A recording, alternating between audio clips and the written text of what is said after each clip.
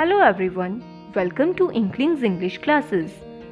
In this video, we are going to discuss a one act play, The New Hangman by Lawrence Houseman.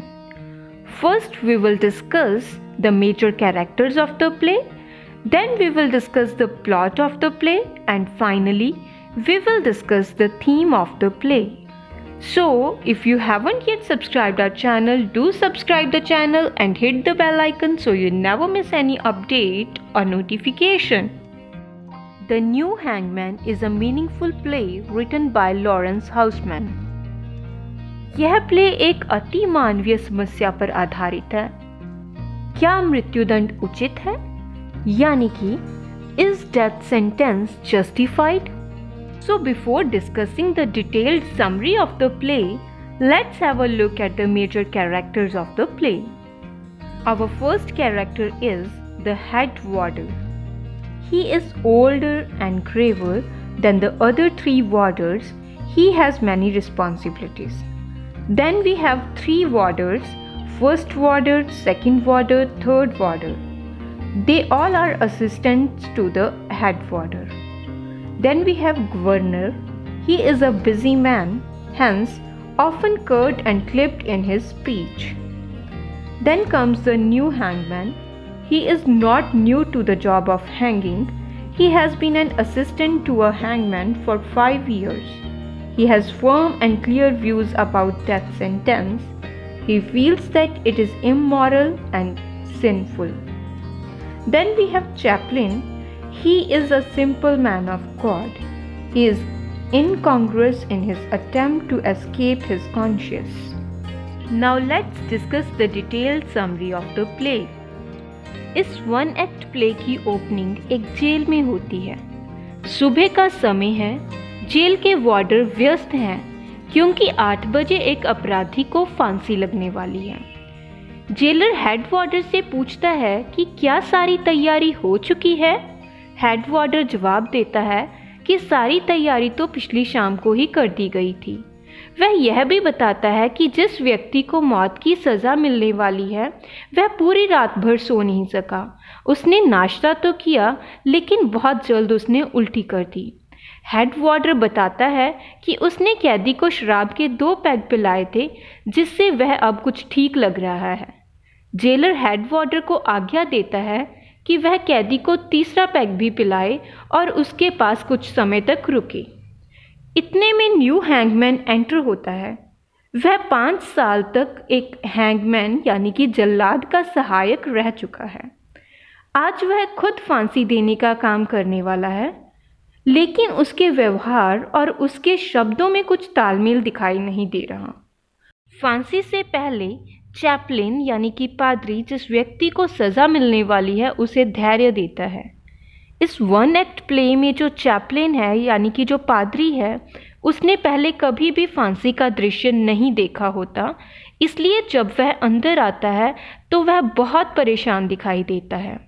उसने थोड़ी P भी रखी होती है, क्योंकि वह जानता है कि अपने साधारण रूप में वह फांसी का क्रुएलिटी भरा दृश्य नहीं देख सकेगा।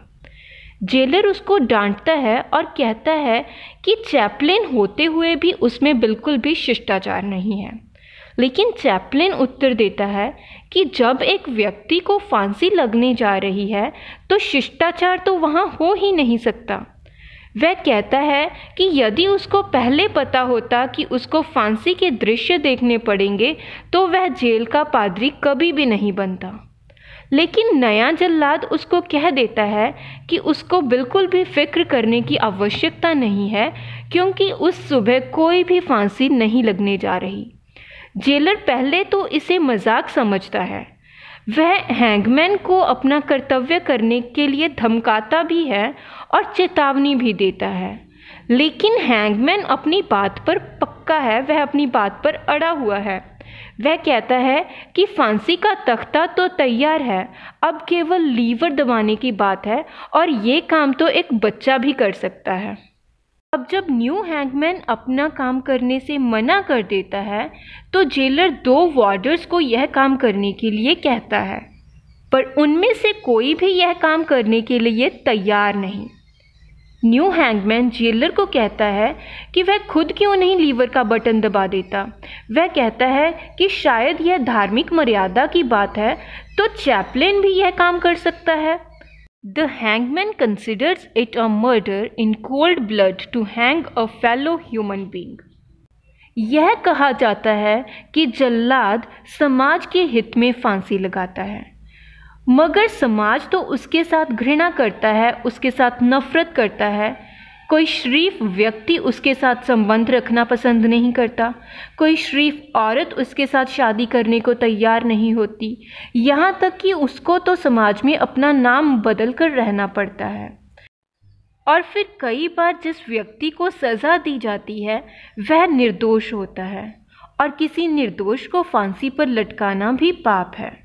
यदि जज और ज्यूरी के सदस्य फांसी के दृश्य को देखा करें तो उनको महसूस हो जाएगा कि कचहरी में गवाहों के कटहरे की जगह फांसी के तख्ते पर सच ज़्यादा स्पष्ट दिखाई देता है। यानी कि the truth becomes clearer at the gallows than in the witness box of the court room और इस तरह से जजेस और ज्यूरी मेंबर्स को अपने कई डिसीजंस के बारे में पश्चाताप करना पड़ेगा।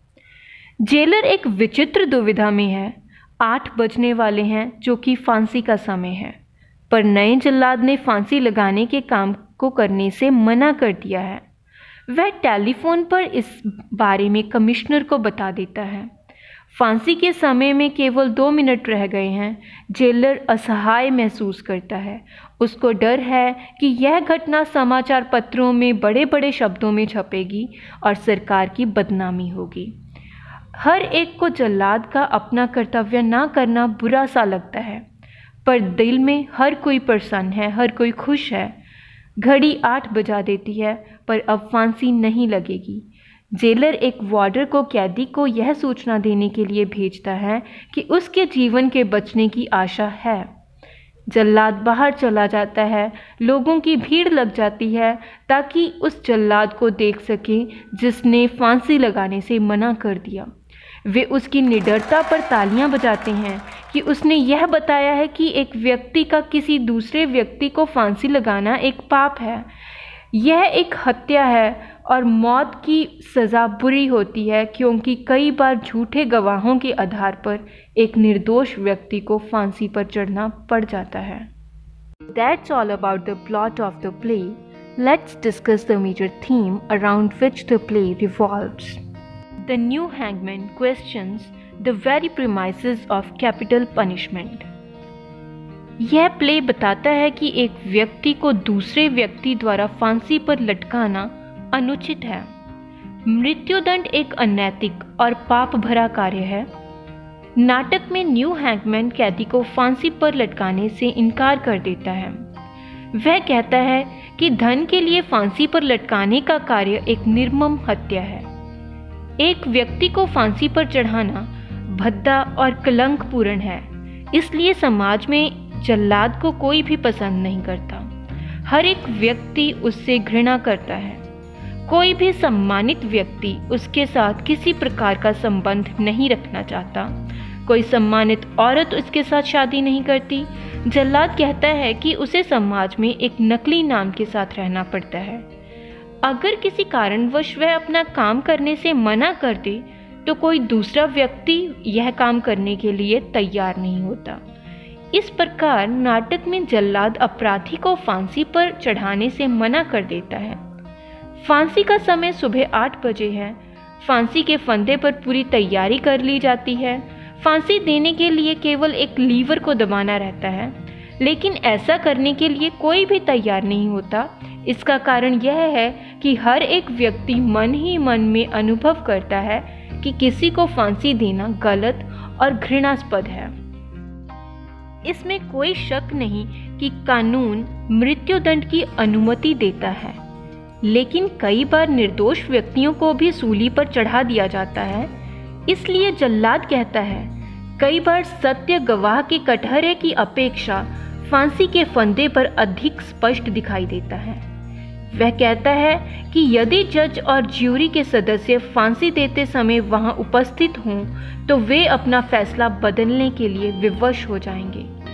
नाटककार ऐसा सुझाव देते हुए प्रतीत होता है कि वह कानून बुरा है जो मृत्यु दंड की अनुमति देता है। कानून आखिरकार कुछ मनुष्यों द्वारा ही तो बनाए जाते हैं। यदि वे कानून बुरे साबित होते हैं तो दूसरों को अधिकार है कि वे उन्हें बदल डालें। हर एक व्यक्ति ऐसा अनुभव करता है कि मृत्यु दंड असभ्य और क्रूर है। इस प्रकार नाटक में जल्लाद जब कैदी को फांसी देने से इनकार कर देता है और जेल से बाहर चला जाता है तो एक बड़ी भीड़ उसका स्वागत करती है। So that's it for this video I hope you found the discussion helpful if you found the video helpful then do like it and share it with your friends I be back very soon with a new video till then stay tuned with Inklings English classes and don't forget to subscribe the channel